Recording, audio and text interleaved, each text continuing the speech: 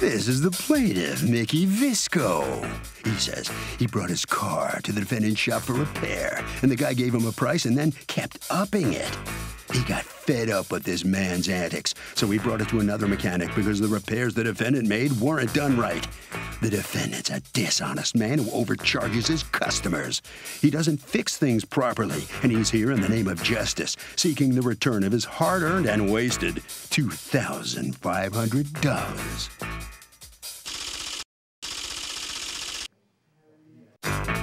This is the defendant, Chris Anderson. He says he's been in business for 30 years, and you don't stay in business that long if you're bad at what you do. The car's 13 years old with 113,000 miles on it, and he fixed what he was hired to fix. If the plaintiff has additional problems with this old car, it's not his fault, and he knows he's in the right and owes nothing. He's accused of not fixing up the fixer-upper.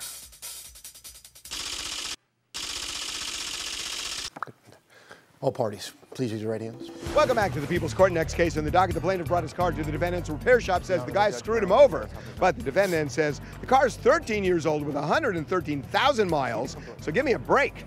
It's the case of you messed up my junk. Thank you, Douglas. welcome. Mickey Visco? Yes. You are suing Chris Anderson. Uh, you don't want us to mention your company name, so you're suing his um, auto service place for $2,500 for additional work that is needed that wasn't done by the defendant. Okay.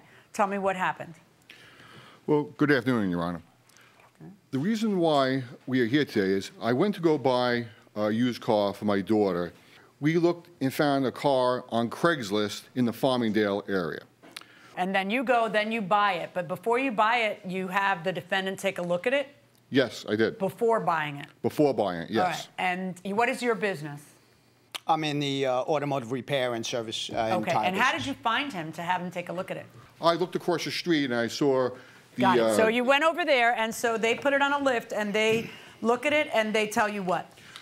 uh, his son tells me this car is worth approximately $3,000 and it's going to need some work. I was with my friend uh, and he told me it's going to need a valve gasket cover and all these other different things. I said, listen, I also want the air conditioning done. When What's done mean? Was it Uh, broken? Well, it wasn't working. It, it wasn't blowing out great, and I wanted blowing to see if it could be recharged or a new compressor or whatever. So after uh, they test drove the car, they looked it over. They gave me a, a report. They charged me uh, sixty dollars approximately. Right. And the report, and in the, do you have the report that they gave you originally? Yes, I do. All right, where they tell you this is what it appears to us is wrong. Correct. Okay. They gave me a, a and vague then so statement. you bought the car, and what did you pay for the car? I paid sixteen hundred dollars for it. Sixteen hundred. Good deal, because it was worth three thousand according to them, even in right, its state. and I have the uh, car. Okay, so you buy the as well. car, and then you take it to them and say, okay, go ahead, do the repairs. That is correct. And what happens? Well, I asked, uh, I said, listen, how much is it going to approximately cost? And they said approximately $1,000. So I said, all right, great. That's why I made the original deal with the, the uh, past owner. We make an appointment to do Wednesday, September 14th, to get this work done.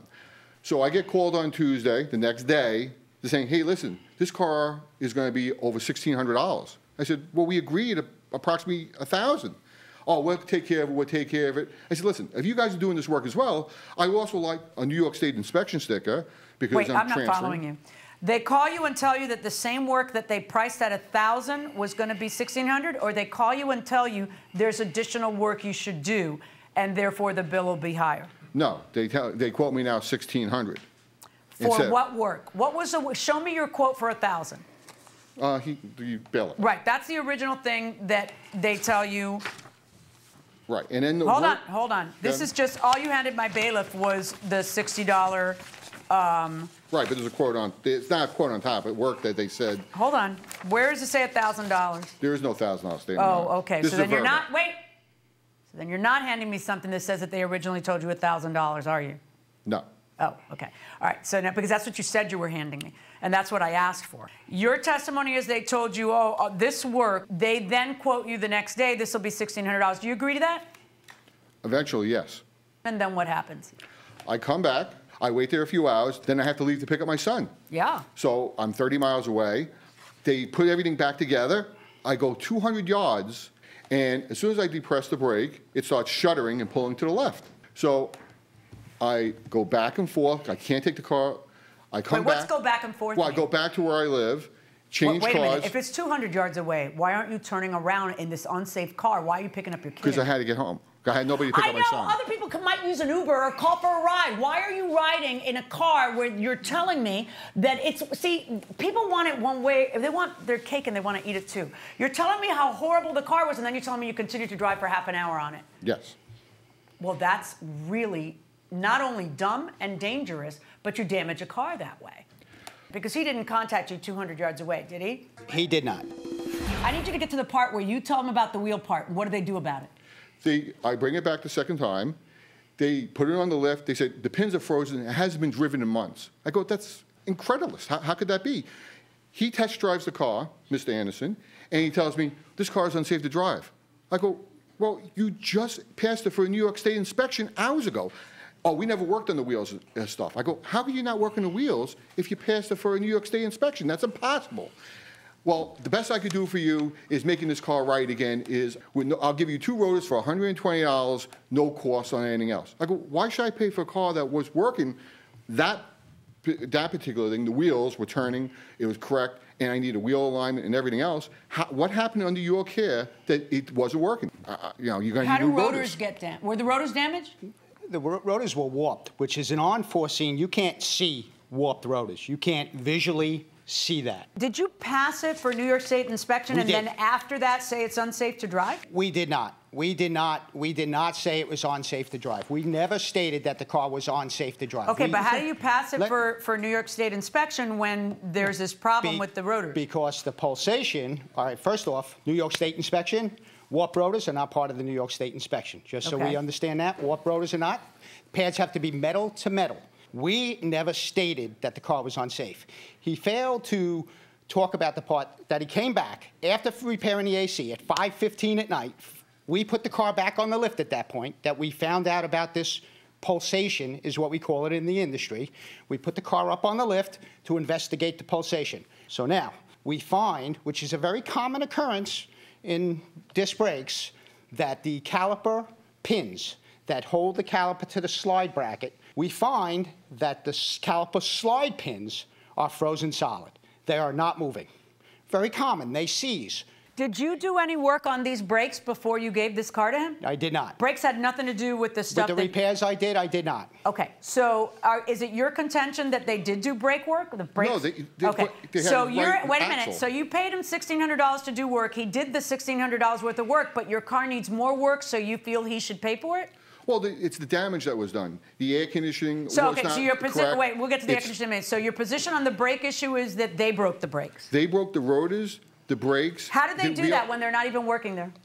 I, I, I have no idea. They, You they said, were- well, he- my other guy says they must have hit a curb. You're the guy taking the car back and forth over and over again. But let No, me. Show me that in writing. Do you have something from your other Yes. guy that says somebody This must have hit a curb? No, they don't, they don't have that. This is just what they, they sp- I spent on that. Yeah, that's not yeah, okay. So Yeah. now you offer then to him if you pay me just the cost of The rotors. We free up the caliper pins at no charge because that in itself could cause a brake pulsation. This is all happening at closing time. Car still has a brake pulsation. Come back in the office, talk to Mr. Visco about the brakes. He's upset. He's upset that the car needs more work. He states, oh, I spent already too much money on this car. My ex-wife's not going to spend any more money on this car. I'm buying this for my daughter. Okay. So out of the interest of customer satisfaction, I say to Mr. Visco that I will repair the brake pulsation for the cost of parts, which was how much? which was $120 is what I had told him originally. So you tell him that for 120, and so that, That- means that you're giving him the labor cost of how much? Uh, uh, roughly. Over $200. Okay. What happened? So now he agrees to bring the car back the next morning to have it repaired. Okay? And what happens? Does he bring it in? He calls me up the next morning, says, I'm not going to bring it back into you. You give me $500, and here's a quote. You know, I have a lot of connections. I'm a retired detective sergeant in the police department. I have a lot of connections, and you credit me back $500, or I'm going to make your life miserable. So when you buy a car that's 13 years old, that has problems, that has 113,000 miles, Absolutely not. They're older than these two, and it's not made to last. right? What And you're already and you're already giving her problems. I bet. there you go. Uh, what do you say? No. I have a car with 30,000 miles and it gives me enough problems. And you.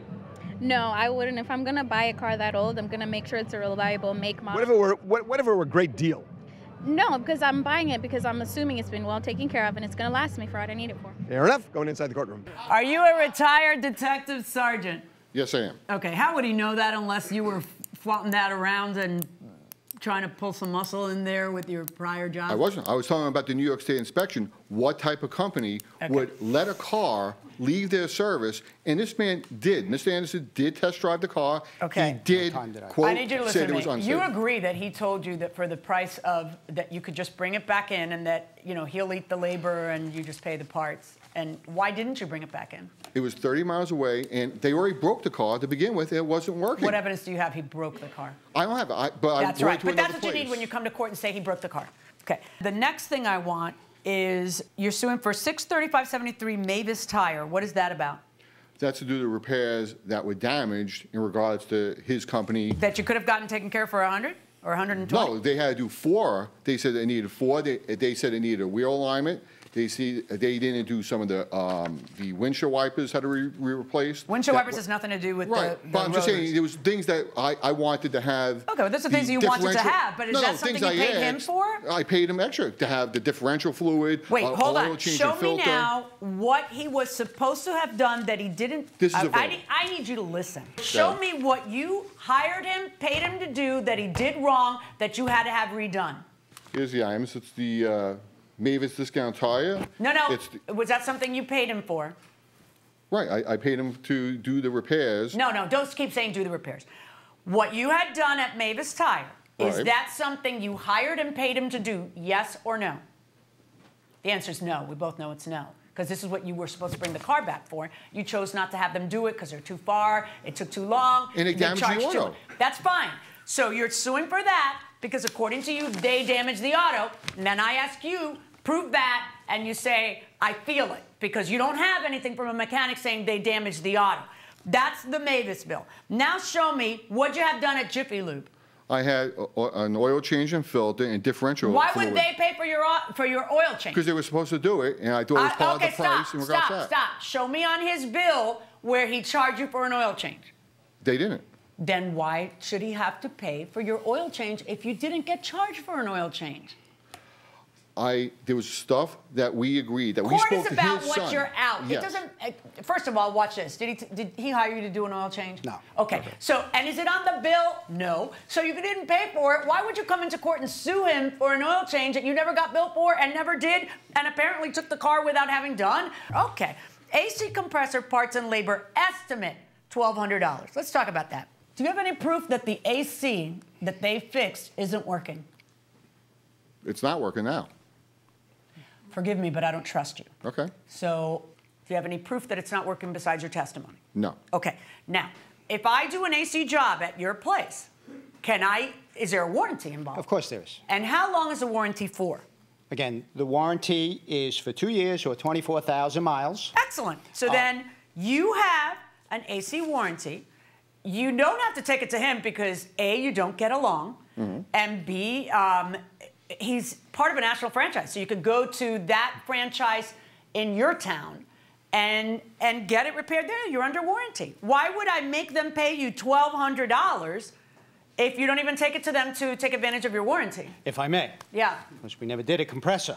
Mm-hmm. So again, Oh, why are you making him pay or asking me to make him pay for a compressor when that wasn't part of the job you had them do? I don't know what they damaged when they were rushing to get the stuff done. They were supposed to Neither have do to- I. And Right. your job when you come to court and ask somebody to fork over $2,500 and ask me to order them to do it, your job is to convince me they broke it. I don't know what they broke. Well, neither do I. You know what? We're done. Okay. That's enough of everybody's time wasted. My verdict in this case is for the defendant.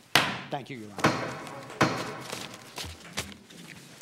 So, Mr. Vesco, the retired detective, loses his case here in court. You know, you pointed out you have testified in court before. You've been in court before, obviously, right? Yes, that's correct. Viewers would think you'd be prepared and have more evidence with you to convince the judge you were right, but Sometimes it doesn't work out that way.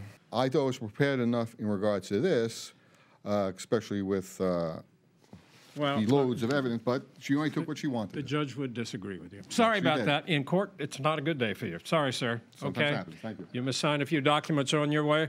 Mr. Anderson, you know, I felt sorry for you. You made a, you made a very good presentation, though. Thank you were, you, were a good you. defendant. Thank you. Okay? Uh, You feel better? I feel better. Okay. Well, congratulations. Thank you All very much. You're very welcome. Good luck now.